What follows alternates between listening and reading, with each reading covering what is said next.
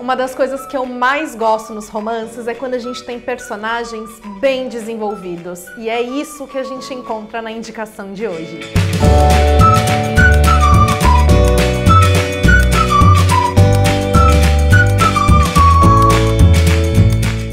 gente, eu sou a Ione Simões do Minha Vida Literária e hoje eu trago para vocês mais uma indicação maravilhosa de romance que a gente leu no Clube Harlequin, uma parceria entre a editora Harlequin com o Esquilo. E eu estou falando de Entre Idas e Vindas da Ava Wilder, com tradução da Laura Folgueira. Essa aqui é a mesma autora do livro Como Fingir em Hollywood, que eu ainda não li, mas os dois livros vão abordar esse universo de atores, de bastidores de filmes e, nesse caso, de uma série. Se você gosta de romance, se você gosta de leitura conjunta, você precisa conhecer o Clube Harlequin, pagando um valor que cabe super no bolso, porque ele é inferior ao preço de capa dos livros que a gente lê no clube. Você recebe todos os meses um lançamento da editora Harlequin, que em geral está em pré-venda. Então, praticamente todos os livros do clube eu li antes mesmo do livro ter sido lançado. Além disso, você recebe benefícios exclusivos disponíveis no próprio aplicativo e aquilo, né? A gente tem a facilidade de ler no próprio celular. Significa que a gente pode ler em qualquer lugar. Eu organizo as leituras conjuntas do clube, então você também pode ler comigo. A gente tem grupo no Telegram que é aberto a qualquer pessoa, então fica o convite para você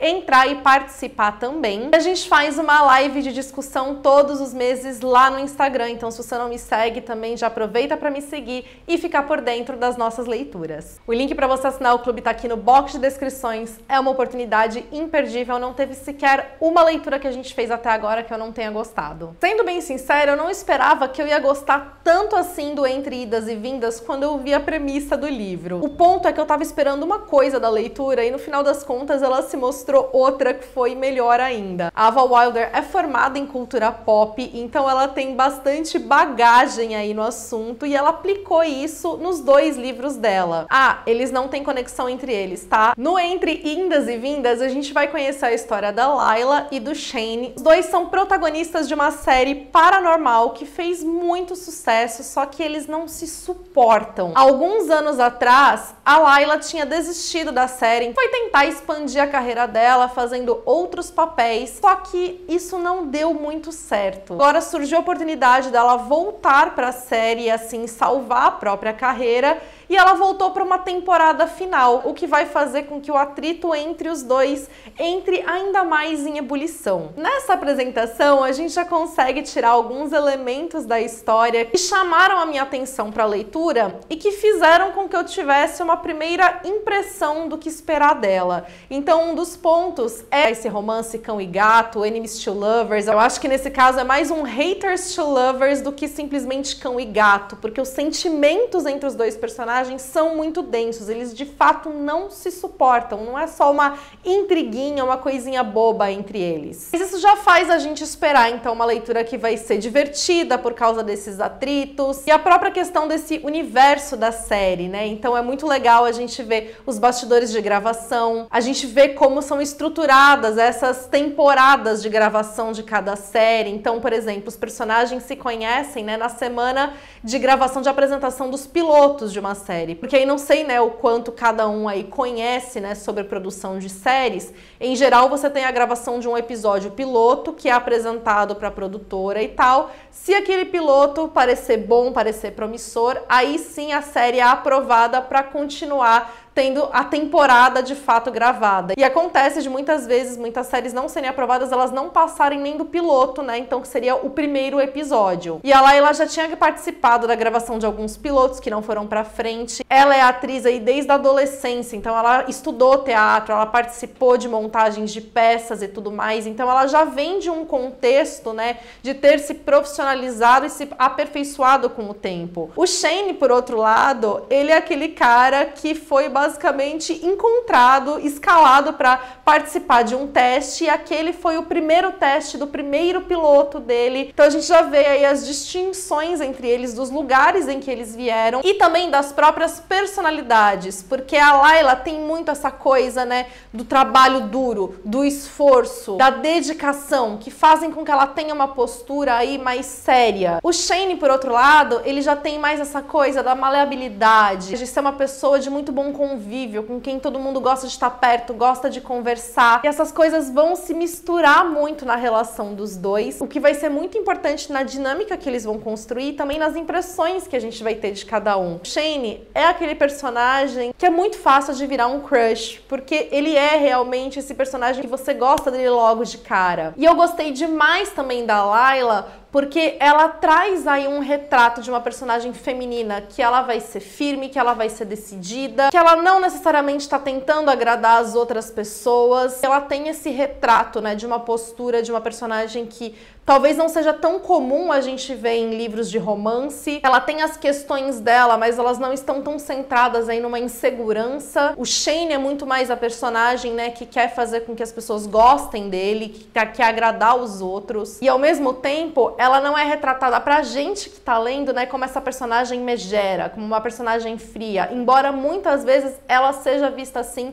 por quem está ao redor, né? E aí a gente já entra também numa questão de discussão de gênero, de posicionamento, de como muitas vezes as mulheres tem que se portar para os outros. Não existe essa pressão toda. Então, assim, eu gostei muito de como os dois personagens são retratados, tanto no que se refere na dinâmica que eles vão construir e principalmente na, na empatia que cada um vai exercer na gente. É quase aqui como se a gente tivesse, né, o clichê do Grumpy e Sunshine, que é um dos tropes que a gente tem de romance, né? Então, que a gente tem um dos personagens super bem-humorado e o outro que é o oposto disso. Não é exatamente. Não é que a Layla é mal-humorada não é que ela é rabugenta. Mas o Shane é muito mais extrovertido do que ela. E uma curiosidade muito legal que tem a ver com essa coisa, né, do, dos tropes literários e tal, é o título do livro original, que seria Will They or Won't They. Numa tradução literal é um vai, não vai, e que na verdade é um trope específico aí para filmes de romance, que é essa categoria de romances de vai e volta. Então é muito legal a gente ver isso no título, porque faz uma referência ao tipo do romance que a gente vai encontrar na história, mas também já vai trazer essa aproximação com o audiovisual, que tem tudo a ver com o livro, porque afinal a gente está falando de uma gravação de uma série. E sobre isso, dos personagens serem muito bem definidos, eu acho que foi esse é o ponto que me deixou surpresa com a história, que fez com que ela tivesse uma cara que eu não esperava e que foi também o que me fez gostar mais ainda do livro. Embora ele seja um livro, sim, divertido, bem-humorado, aliás, fico destaque aí também para a tradução, que a gente percebe várias expressões aí que são bem brasileiras, que são bem gostosas da gente encontrar ali na leitura, trazem também uma leveza maior aí, uma aproximação maior nos diálogos principalmente. Mas embora então a gente tenha essa atmosfera leve, o livro também ele realmente se aprofunda aí nas dores de cada personagem. Então ele traz isso muito à tona, essas emoções que estão tão à flor da pele e ao mesmo tempo tão reprimidas, né? E isso tudo faz com que o livro ele tenha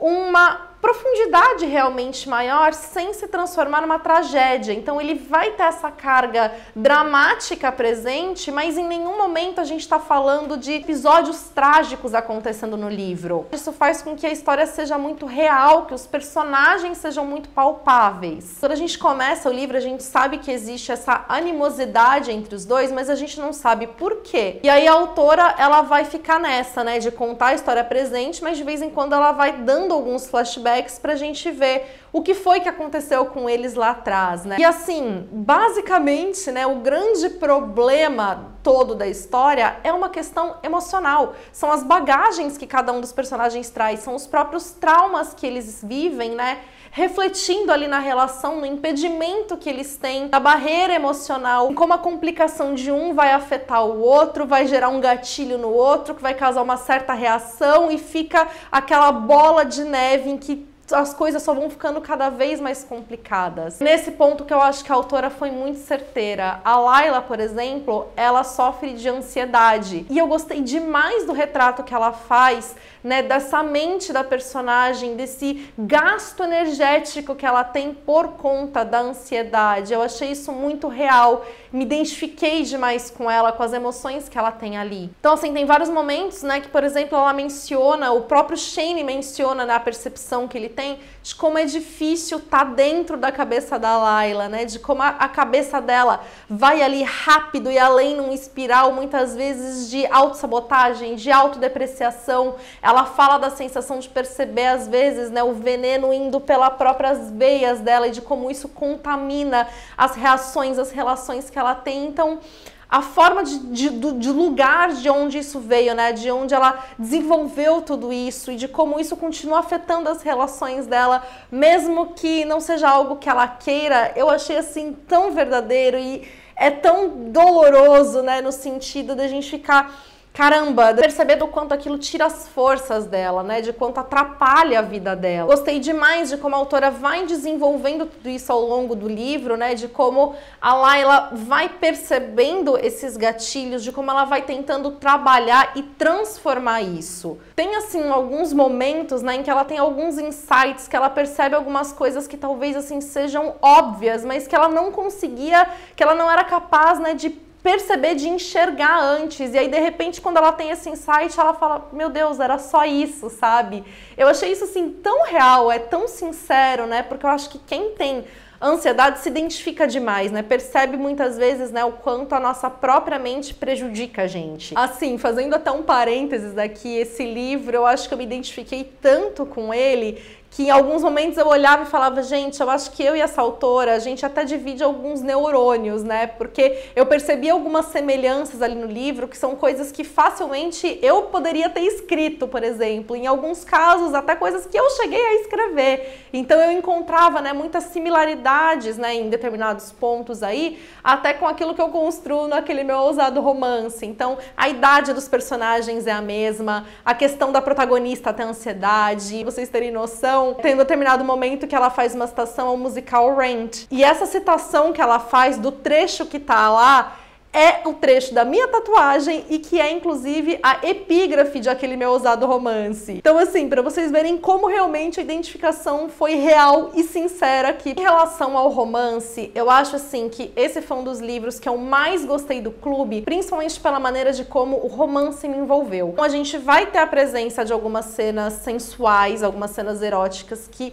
são muito bem escritas, é aquele tipo de cena que você realmente se envolve, que você vai sentindo as coisas com os personagens. Esse livro é assim. E essas cenas elas vão aparecer principalmente por meio dos flashbacks, porque no presente a relação atual do que está acontecendo, a gente tem basicamente um slow burn. Então a gente vê essa relação dos dois acontecendo aí bem aos pouquinhos. E aí por isso a gente tem cenas repletas de química e de tensão. Tem uma cena específica, não é um spoiler, basicamente eles estão juntos juntos num sofá assistindo TV. Foi uma das cenas de romance que eu mais fiquei fisgada nos últimos tempos, assim, de eu ficar, meu Deus do céu, eu quero que esses dois fiquem juntos. Sabe quando você fica torcendo para eles finalmente se beijarem, para eles se encostarem? Então, assim, a autora trabalha essas nuances muito bem. Eu acho que a única coisa que eu senti um estranhamento, que eu gostaria de ter visto com um pouco mais de detalhes, foi a relação do Shane com o irmão dele. Eles acabam tendo uma relação meio até de codependência, do Shane ter um cuidado excessivo com o irmão. E embora sim a autora aborde, né, de onde isso veio, o que foi que aconteceu para eles terem chegado naquele ponto, e essa relação com o irmão também é importante, né, é, no impacto da relação do Shane com a Layla, coisas se misturam por aí. Ainda assim, eu fiquei um pouco confusa com essa relação. Eu acho que eu gostaria de ter visto um desenvolvimento um pouquinho mais bem lapidado para entender melhor um pouco dessa dinâmica, ou mesmo entender mais a parte do irmão. De qualquer maneira, fica aí a recomendação então para o Entre Idas e Vindas. Eu acho que dos livros do clube até agora, talvez esse tenha sido o livro que eu mais gostei justamente porque eu gostei do envolvimento que ele me proporcionou, dessa questão do romance, né, de realmente causar assim reações e principalmente do detalhamento emocional e psicológico das personagens. Elas passam também por sessões de terapias que eu achei assim interessantíssimas. Eu sempre acho que isso traz uma visão, um panorama que acrescenta muito para a história, então eu gostei muito de ver isso daqui, até porque também era necessário, né, por conta do realmente a bagagem emocional que o livro traz. Então, se você gosta de romances que vão ser envolventes, cheios de química e principalmente com personagens muito reais, entre idas e vindas, é a indicação perfeita para você e que ainda de quebra tem todo esse gostinho interessante aí de bastidores de produção de uma série de TV. Para ler outros romances tão envolventes e gostosos quanto esse, assina o Clube Harlequin no aplicativo do Esquilo. O livro do mês já está disponível, assim como o cronograma de leitura também já está lá no meu Instagram. Me segue por lá para não perder as novidades. Muito obrigada por ter assistido esse vídeo até aqui. A sua visualização, o seu comentário e a sua curtida são formas muito importantes de ajudar o meu trabalho, então muito obrigada por isso. E outra maneira de me ajudar é assinar o clube de membros daqui do canal, que é uma forma também de você obter benefícios para você. Beijos e até o próximo vídeo.